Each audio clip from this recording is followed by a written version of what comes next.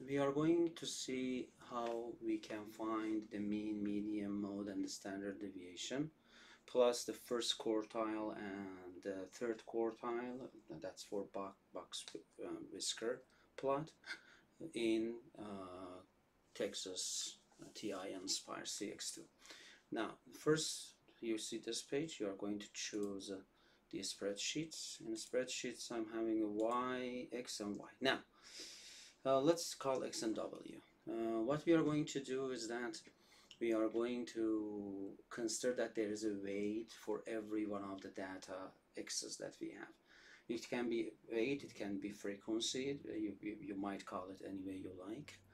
Uh, so x is 1, 2, 3, 4, 5, and frequency.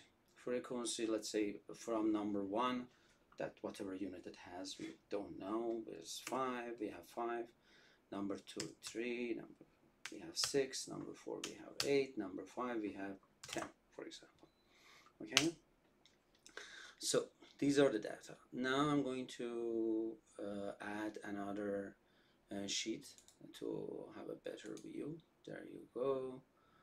A spreadsheet. That that's 1.2 as you can see now I'm gonna find the, the answers on this sheet. Menu, the statistics, one stat, one variable statistics. Okay, and number of lists, one. We have one list. Then the next one is the is the weight. So x1 list is x. Frequency list. If you don't have a weight, in that case you can put frequency list as one. But because we have weight and we named it W, I'm gonna put it as that one. I'm gonna delete this one it's also to, to make it clean okay there you go. We have the answers.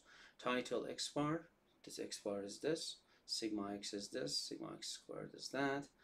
SSX, sx um, the standard deviation for sample for population.